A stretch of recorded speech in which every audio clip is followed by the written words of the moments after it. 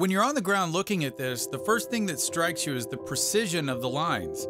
They're absolutely smooth, absolutely even, and where are the footprints or tire tracks? There is no sign how anyone could have come here and done this work and then left.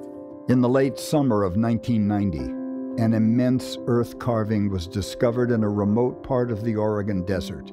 Just to have the land surveyed and laid out with this accuracy would cost $100,000.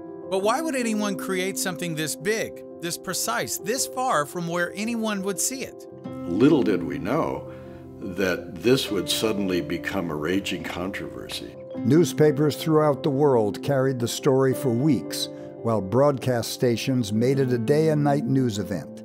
A professor from Boise State University says the symbol is called a yantra.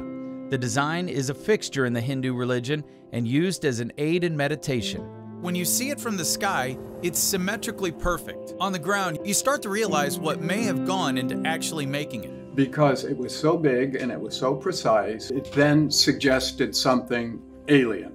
A grand geometric design in the Oregon desert has some talking UFOs. So people didn't want to let go. What really happened that late summer in the Oregon desert?